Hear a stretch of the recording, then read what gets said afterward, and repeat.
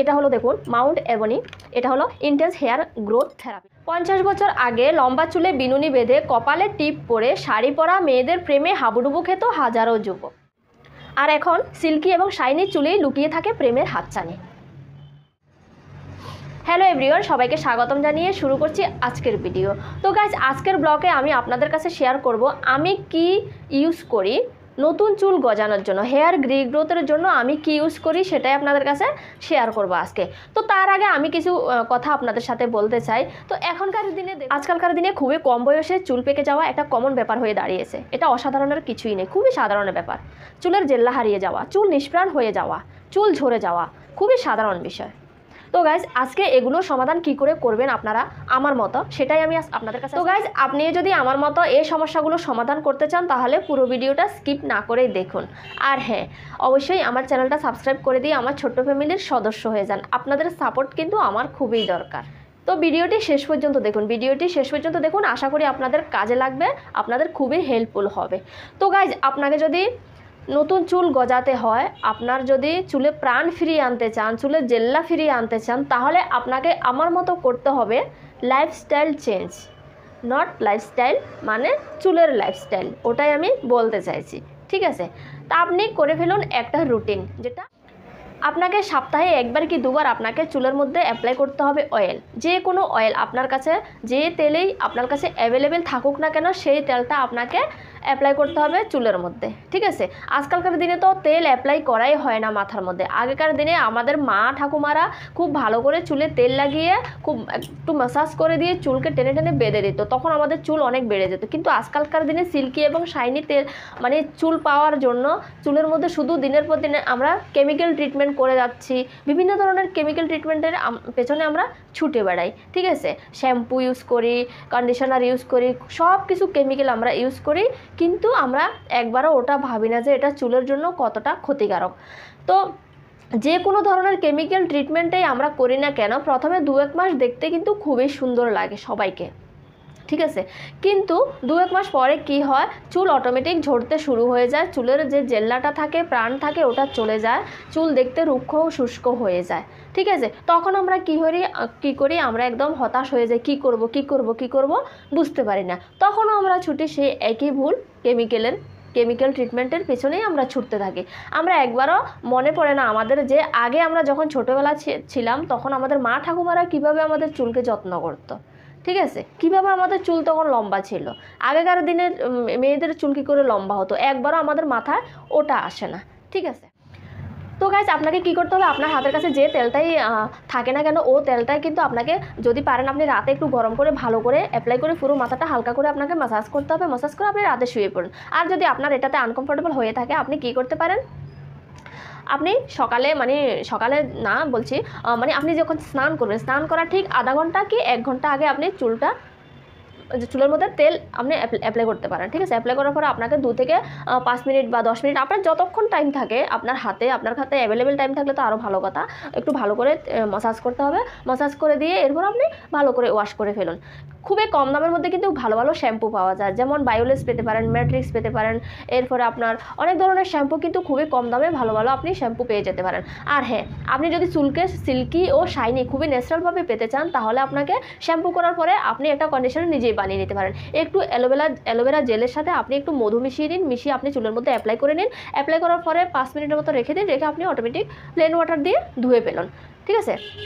আপনি যখন এগুলো করবেন, কি হয়? ধীরে ধীরে কিন্তু চুলে সিল্কি এবং শাইনি ভাব অটোমেটিক চলে আসবে। আপনাকে কেমিক্যালের পিছনে কিন্তু ছুটতে হবে না। তো এ- আমি কিন্তু এগুলো করি। তা আমি কিন্তু ওগুলো করি বলে আপনারা খেয়াল করলে দেখতে পাবেন। দেখুন, আমার কিন্তু ছোটো ছোটো চুল গজানো স্টার্ট হয়ে গেছে।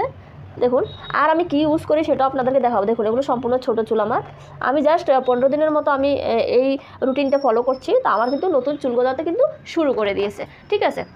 আমারও কিন্তু অনেক চুল ঝরেছিল। তা আমি এই রুটিনটা ফলো করেছি। আর আমি কি ইউজ করেছি একটা সিরাম ওটা আমি বলছি আপনাদেরকে। ঠিক আছে? তো আপনারা আমার মতো এই রুটিনটা ফলো করতে চুল পড়া বন্ধ হবে এবং নতুন চুল গজাতে আরম্ভ করে দেবে। ওকে আর হ্যাঁ আপনারা যদি মাঝে মধ্যে মাঝে মধ্যে যদি আপনারা খুবই হোম রেমেডি যেমন আমার ভিডিওগুলোতে আপনারা গেলে কিন্তু দেখতে পাবেন, আমার ভিডিওগুলোতে আছে। আর আমি নেক্সট ভিডিওগুলোতেও দেবো কীরকম হোম রেমেডি আপনাদেরকে ইউজ করতে হবে। তো আমি যে হোম রেমেডিগুলো ইউজ করি, যেমন আমি আগের ভিডিওগুলোতে দিয়েছিলাম, যেমন মেথি, কালো জিরা, কারি পাতা, ওগুলোকে আমি গুঁড়ো করে তেলের সাথে বয়েল করে ওই তেলটা আমি মাথার মধ্যে মালিশ করি। এরপর আপনারা কারি পাতার জুস নিম পাতার জুস ওগুলো ড্যান্ড্রফের জন্য খুবই খুবই ভালো। চুলের মধ্যে যদি ড্যান্ড্রফ যদি না আসে, তাহলে চুলের গ্রোথ অটোমেটিক আরম্ভ হয়ে যায়। ঠিক আছে? তো ওগুলো যেমন টক দই, ওগুলো দিয়ে আপনারা কিন্তু কি করতে পারেন? প্যাক বানিয়ে কিন্তু চুলোর মধ্যে অ্যাপ্লাই করে দশ বিশ মিনিটের মতো রেখে আপনারা ওয়াশ করে নিতে পারেন, ঠিক আছে? একটা প্রোডাক্টের কথা আপনাদেরকে বলছি। তো এটা হলো দেখুন মাউন্ট অ্যাভনি এটা হলো ইন্টেন্স হেয়ার গ্রোথ থেরাপি ঠিক আছে? তো এটা হলো কি Biotique mount ebony anti hair fall treatment okay এই সিরামটা আপনারা ইউজ করতে পারেন। এই সিরামটা একদম কিন্তু ওয়াটার বেস এটা আমি ইউজ করি। এটা আপনি যদি বেশি অ্যাপ্লাই করে ফেলেন, কোনো প্রবলেম নেই। দু মিনিট পরে পুরোটা শুকিয়ে যাবে, কিন্তু অটোমেটিক কাজ কিন্তু স্টার্ট হয়ে যায়। এটা স্ক্যাল্পের মধ্যে বিশেষত অ্যাপ্লাই করা হয়। এটা আমি কীভাবে অ্যাপ্লাই করছি আমি দেখিয়ে দিচ্ছি আপনাদেরকে নেক্সটে তো প্রথমে আপনাদেরকে জানতে হবে এটা কী দিয়ে তৈরি হয়, ঠিক আছে? তো দেখুন এটা কী দিয়ে তৈরি হয় আর এটা কীভাবে ইউজ করতে হবে আপনাদেরকে? খুবই একটু একটু নিয়ে আপনাদেরকে এটা স্ক্যাল্পের মধ্যে অ্যাপ্লাই করতে হবে আর মাসাজ করে নিতে হবে দশ থেকে দশ মিনিট না, পাঁচ থেকে দশ মিনিট আপনাকে মাসাজ করলে হয়ে যাবে। আর যদি আপনি মাসাজ নাও করতে পারেন, আপনি ভালো করে অ্যাপ্লাই করে জেন্টলিভাবে দু তিন মিনিট মাসাজ করে আপনি ছেড়ে দিন, ঠিক আছে? আমাদের মাসাজ করলে কী হয়, আমাদের স্ক্যাল্পের যে ব্লাড সার্কুলেশনটা ওটা কিন্তু আমাদের ভালো করে চালু হয়ে যায়। তো ব্লাড সার্কুলেশন যত চালু থাকবে, ততই আমাদের হেয়ার রিগ্রোথ ভালো হবে, ঠিক আছে? তো আমি এটা কীভাবে ইউজ করছি, আপনাদেরকে দেখাচ্ছি। আমি এটা কীভাবে অ্যাপ্লাই করছি আপনাদেরকে দেখিয়ে দিচ্ছি। তো আমি প্রথমে চুলটাকে ভালো করে আঁচড়িয়ে নেব। আর এটা কিন্তু অ্যাপ্লাই করতে হবে সম্পূর্ণ ড্রাই স্ক্যাল্পে ঠিক আছে? আপনারা এমন কোনো দিন করবেন না যে মানে চুল ধুয়ে আমি সঙ্গে সঙ্গে এটা অ্যাপ্লাই করব, ওরকম কিছু না। চুলটাকে আপনাকে শুকিয়ে ভালো করে শুকনো থাকতে হবে ড্রাই স্ক্যাল্প থাকতে হবে, কারণ এটা সম্পূর্ণ ওয়াটার বেস তো আমি কি করি, এরকম করে ছোটো ছোটো করে সেকশন করে নিই। সেকশন করে নিয়ে দেখুন, এটার বোতলটা কিন্তু খুবই কমফোর্টেবল বোতল। দেখুন। খুব ভালো করে এটা অ্যাপ্লাই করা যায়। দেখুন, এভাবে অ্যাপ্লাই করি আমি তিনটা রকমে অ্যাপ্লাই করি। জাস্ট আপনাদের সাথে আমি শেয়ার করছি। তা আপনারাও আমার মতো কিন্তু যে যে পদ্ধতিটা আপনাদের ভালো লাগে, ওটাই আপনারা এরকম করেও দিতে পারেন। তা আর এরকম করে যদি না দিতে পারেন, আপনাদেরকে জাস্ট আমি দেখাচ্ছি। তো এরকম করে বাটিতে একটুখানি নিতে হবে। ঠিক আছে? একটুখানি নিতে হবে। নিয়ে দেখুন, এরকম কটন বাউল নিয়ে এরকম করে আপনাকে স্ক্যাল্পের মধ্যে অ্যাপ্লাই করতে পারেন। তাহলে আর আপনার বোতল দিয়ে দিতে যখন বেশি পড়ে যায়, তাহলে আপনার আর বেশি পড়বে না, ঠিক আছে? তো আর আমি যে পদ্ধতিটা অ্যাপ্লাই করি আমি যেটা করি সেটা হলো, এরকম এটা হলো স্প্রে বোতল এটার মধ্যে আমি একটু নিয়ে নিয়েছি, এটার মধ্যে আমি ঢেলে রাখি, এতটুকু পরিমাণ ঢেলে রাখি আমি। ঢেলে রাখার পরে আমি, দেখুন এটা একটা স্প্রে বোতল দেখতে পাচ্ছেন আপনারা? এরপর আমি কি করি, এরকম ছোট ছোট করে সেকশন করব। ঠিক আছে? বাস অ্যাপ্লাই হয়ে গেল। আমি আপনাদেরকে দেখালাম। তো লাস্টে যে পদ্ধতিটা, ওটাই আমি ইয়ে করি। তো ওভাবে আমি অ্যাপ্লাই করি। আপনাদের যেটা সুবিধা ওটা করতে পারেন। তো এরপর আমি কি করি?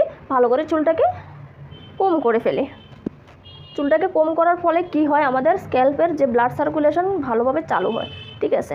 আর চুলের যে রুটটা আছে না, রুটের মধ্যে সিরামটা তাড়াতাড়ি অ্যাবজর্ব হয়ে যায়। ঠিক আছে? এরপর আমি কি করি? জাস্ট যত, যতটুকু আমার সম্ভব, দু থেকে পাঁচ মিনিট। আর আমি কিন্তু সপ্তাহে একবার করে আমি অয়েল ম্যাসাজও করি।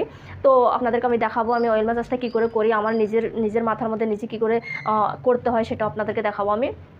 ঠিক আছে? তো এবার আমি কি করব, আমি হালকা দু তিন, দু থেকে তিন মিনিটের মতো আমি খুবই জেন্টলিভাবে মাসাজ করে নেব, ঠিক আছে? আপনারা কিন্তু এটা নিজেরা ইউজ করে দেখতে পারেন। এত ভালো জিনিস নারীদের হচ্ছে ক্যাশের বেশ। ক্যাশ যত লম্বা হয় ঘন হয় ততই নাকি নারীদেরকে ভালো লাগে। আপনিও নিজেরা দেখবেন চুলকে আমরা যেরকমই স্টাইল করি যেরকমভাবে লুক দেবো ওই রকমই আমাদেরকে দেখতে মনে হয় ঠিক আছে? তো আপনি যদি চুলটাকে ভালো করে যত্ন করে রাখতে পারেন তাহলে কিন্তু আপনাকে দেখতেও ভালো লাগবে। এটার মধ্যে কোনো সাইড এফেক্ট নেই এটা একদম হান্ড্রেড পার্সেন্ট অর্গানিক আয়ুর্বেদিক এটা আপনারা চোখ বন্ধ করে ইউজ করতে পারেন ঠিক আছে? এটা আমি কোথায় অর্ডার করেছি, এটা আমি মেশো থেকে অর্ডার করেছি। আপনারাও মেশো থেকে ফ্লিপকার্টে যে কোনো অ্যাপসে আপনারা পেয়ে যাবেন। দোকানেও পেয়ে যাবেন, এটা দোকানেও পাওয়া যায়। ঠিক আছে, এটার নামটা আমি ভালো করে দেখিয়ে দিচ্ছি। Biotique advance Ayurvedic mount mountain ebony anti hair fall hair serum ঠিক আছে, এটাই কিনবেন আপনারা হেয়ার গ্রোথের জন্য। তো এই কোম্পানি কিন্তু অনেকগুলো সিরামই আছে। তো আপনার যদি হেয়ার ফল হয়ে থাকে, তাহলে আপনি এটাই ইউজ করবেন। ওকে একদম হান্ড্রেড পার্সেন্ট আয়ুর্বেদিক দেখুন। ঠিক আছে? বোটানিক্যাল এক্সট্রাক্ট তো এভাবে আপনাকে কি করতে হবে? দু থেকে তিন, চার মিনিট আপনার যতক্ষণ সম্ভব ততক্ষণ আপনি হালকা হাতে মাসাজ করে নেবেন। মাসাজ করার পরে তো আমি কী করি? মাসাজ করার ফলে চুলটাকে ভালো করে বেঁধে নিই। তো কী হয়? তাড়াতাড়ি স্ক্যাল্পের মধ্যে ভালো করে অবজার্ভ হয়ে যায়। এই সিরামটা কিন্তু আপনারা অ্যাপ্লাই করে দেখতে পারেন। আমার মতো আমি খুবই ভালো উপকার পেয়েছি। আর সাথে সাথে আমি তেলও মালিশ করি চুলের মধ্যে, তা আপনারা কিন্তু এটা করতে পারেন, ঠিক আছে? তা আমি নেক্সট ভিডিওগুলোতে দেখিয়ে দেবো আমি কীভাবে তেল বানাই ন্যাচারালভাবে কী হোম রেমেডি আমি তেলের সাথে ইউজ করি, ঠিক আছে? ওটা আমি শেয়ার করব আপনাদের সাথে।